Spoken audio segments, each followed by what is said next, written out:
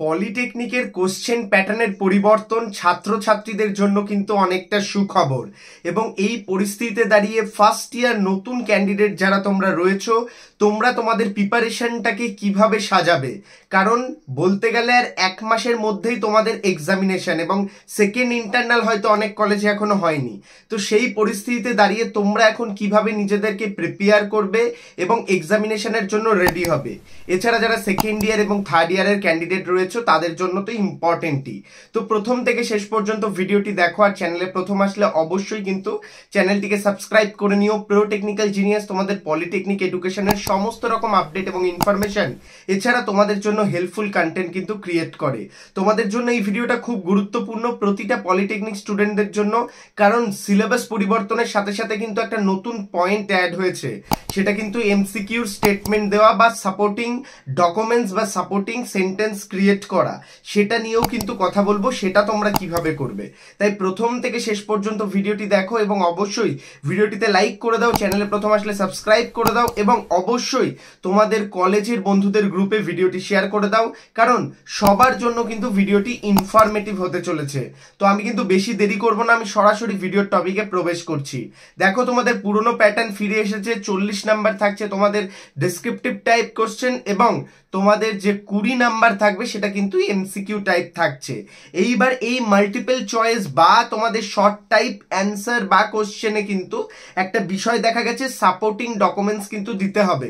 আমি প্রিভিয়াস যে ভিডিওটা নোটিশের ভিডিওটা করেছিলাম, সেটাতে তোমরা দেখেছ এবং যারা জানো না, অবশ্যই প্রিভিয়াস নোটিশের ভিডিওটা দেখে নিতে পারো। তো সেখানে লেখা রয়েছে যে, কুড়ি নাম্বারের যে সাপোর্টিং থাকবে, সেখানে কিন্তু দশটা কোশ্চেন তোমাদের অ্যাটেন্ড করতে হবে। যদি তুমি শুধু এমসিকিউ ধরো, একটা ম্যাথামেটিক্স এসছে প্রুভ দ্যাট কিছু একটা। তো এমসিকিউর অ্যান্সার রয়েছে এ বি সি ডি তো তুমি ডাইরেক্টলি কিন্তু নাম্বার ওয়ান দিয়ে ডি অ্যান্সার করে দিলে। অ্যান্সারটা ঠিক হলো। কিন্তু তুমি সাপোর্টিং স্টেটমেন্ট বা দু লাইন ম্যাথামেটিক্সের প্রুফ বা অঙ্ক করতে পারলে না, তাহলে কিন্তু তুমি দু নাম্বার পাবে না। তাহলে কিন্তু তুমি এক নাম্বার পাবে। সেই ক্ষেত্রে দাঁড়িয়ে তোমাদের প্রিপারেশন টিপসেও কিন্তু অনেক কিছু পরিবর্তন করতে হবে। তো এগুলো কিন্তু ম্যাথমেটিক্স রিলেটেড সাবজেক্টের ক্ষেত্রে কিন্তু এমসিকিউ টাইপ বা শর্ট টাইপ যেগুলো থাকছে বা থিওরি পেপারের ক্ষেত্রে এরকম সাপোর্টিভ ডকুমেন্টস দিতে হবে না, সেটা তুমি জেনারেল অ্যান্সার লিখলেই নাম্বার পেয়ে যাবে। তো এই যে সাপোর্টিং ডকুমেন্টস দেওয়ার জন্য তোমাদের কি কি করতে হবে? বেসিক্যালি তোমাদের শর্ট কোশ্চেন স্পেশালি তোমরা পড়বে না কখনো। যে কখনো এমন নয় যে এই চ্যাপ্টারটা কমপ্লিট করলাম, এই চ্যাপ্টারের এমসিকিউ গুলো পড়ি, এরকম নয়। প্রতিটা চ্যাপ্টার যখন কমপ্লিট করবে তার যে রিডিং নলেজ থিওরি প্রতিটা জিনিস তোমার যেন জানা থাকে। সবার প্রথমে এমন নয় যে তুমি একটা চ্যাপ্টার কমপ্লিট করলে তার এমসিকিউ পড়ছো, এই এই বি এই সি এই ডি এরকম নয়। এই পড়াশোনাটা একদম বাদ। তোমাদের একদম জেনারেল থিওরি পড়তে হবে এবং যে কনসেপ্ট রয়েছে সেটাকে কিন্তু বিল্ড আপ করতে হবে নিজের মধ্যে। প্রতিটা চ্যাপ্টারের ক্ষেত্রে, সেটা ফার্স্ট ইয়ারের স্টুডেন্টদের ক্ষেত্রে ফিজিক্স কেমিস্ট্রি হোক বা সেকেন্ড ইয়ারে যারা রয়েছে তাদের ডিপার্টমেন্টাল সাবজেক্ট হোক বা ফাইনাল ইয়ারের ছাত্রছাত্রী হোক, তোমাদের কিন্তু কনসেপ্ট বিল্ড আপ করতে হবে। যখনই তুমি কনসেপ্ট বিল্ড আপ করে নেবে না তখন তুমি এমসিকিউর অ্যান্সার যখন তুমি নাও পারবে, ধরো কারোর কাছ থেকে শুনলে বা কেউ বলল যে এটা বি হতে পারে হ্যাঁ পরীক্ষার হলে এরকম হয়। তো সেই ক্ষেত্রে কিন্তু যে শুনলে তখন তোমার মাথায় চলে আসলো হ্যাঁ আমি এটা পড়েছিলাম, এটা বি তাহলে কনসেপ্ট এটা হতে পারে। তো সেই অনুযায়ী কিন্তু তুমি লিখতে পারবে। তাই কিন্তু তোমাদের আমি প্রতিটা স্টুডেন্টকে আগের ভিডিওগুলোতেও আমার যে tips and tips related video থাকে, সেখানে অলওয়েজ বলেছি তোমাদের সবার আগে বইটাকে টোটালি কভার করতে হবে এবং সিলেবাসে যে টপিকগুলো রয়েছে, তার যে নলেজ সেটা তোমাকে নিতে হবে। এমন নয় যে তুমি সব কিছু পারবে, এমন নয়। কিন্তু যেগুলো রয়েছে, সেগুলো কেন রয়েছে, কীভাবে হচ্ছে, কি বৃত্তান্ত, এই বেসিক নলেজগুলো তোমার লাগবে কনসেপ্টগুলো যখনই তুমি কনসেপ্ট ক্লিয়ার করতে পারবে না, তখন তুমি পরীক্ষার হলে কিন্তু লিখতে পারবে। যদি তোমার কনসেপ্ট ক্লিয়ার থাকে এবং তুমি যদি রিডিং বইটাকে ঠিকঠাক পড়ো প্রতিটা সাবজেক্টকে তাহলে কিন্তু তুমি লিখতে পারবে।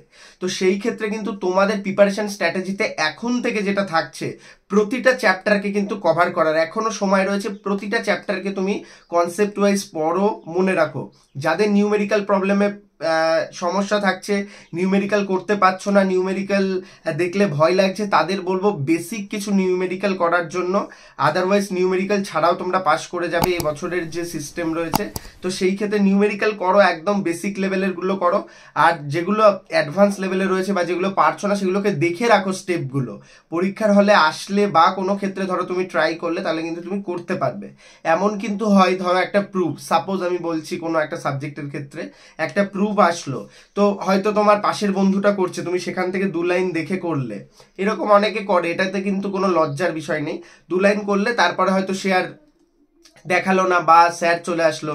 তখন তুমি যদি সেই বিষয়টাকে কনসেপ্টটাকে মনে রাখো বা ওই যে বললাম যদি মাথায় একটু রাখো, একটু রিডিং পড়ো বিষয়গুলোকে, তাহলে কিন্তু পরের দু লাইন তুমি চেষ্টা করতে পারবে এবং চেষ্টা করে যদি হয় তাও কিন্তু তুমি স্টেপ মার্কিংগুলো পাবে। তো এই ছোট ছোট বিষয়গুলো কিন্তু তোমাকে একটা ভালো স্কোর করতে এবং যারা ফেলের দিকে সাপ্লির দিকে ভয় পাচ্ছ, সেগুলোকে আটকাতে সাহায্য করবে। তাই এই ছোট ছোট জিনিসগুলোকে কিন্তু মাথায় রাখতে হবে। এছাড়া প্রিভিয়াস ইয়ারের কোশ্চেন জানি সিলেবাস পরিবর্তন হয়ে গেছে। তাও প্রিভিয়াস ইয়ারের কোশ্চেন কিন্তু মাথায় রাখবে। কারণ প্রতিটা টপিকে কিন্তু কোশ্চেন সেমই থাকে। সাপোজ আমি ফার্স্ট ইয়ারের স্টুডেন্টদের বলছি কেমিস্ট্রির ক্ষেত্রে কেমিক্যাল বন্ডিং বা অ্যাটমিক স্ট্রাকচার ফার্স্ট যে চ্যাপ্টারগুলো রয়েছে, এখানের কোশ্চেন কিন্তু সেমই হয়তো টোটাল বারোটা কি চোদ্দোটা কোশ্চেন আছে একটা চ্যাপ্টারে সেগুলোই কিন্তু কনসেপচুয়াল হিসাবে ঘুরিয়ে ফিরিয়ে আসে।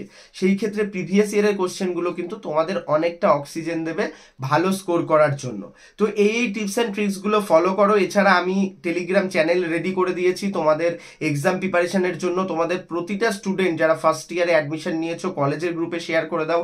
এই টেলিগ্রাম গ্রুপে তোমরা সমস্ত রকম হেল্প পেয়ে যাবে। ওয়েস্ট বেঙ্গলের সব থেকে বড় পলিটেকনিক কমিউনিটি এবং সব থেকে বেশি পলিটেকনিক স্টুডেন্ট সেখানে রয়েছে। তাই অবশ্যই টেলিগ্রাম চ্যানেলে জয়েন করে যাও। সেখান থেকে কিন্তু তোমরা আপডেট এবং ইনফরমেশন পেতে থাকবে।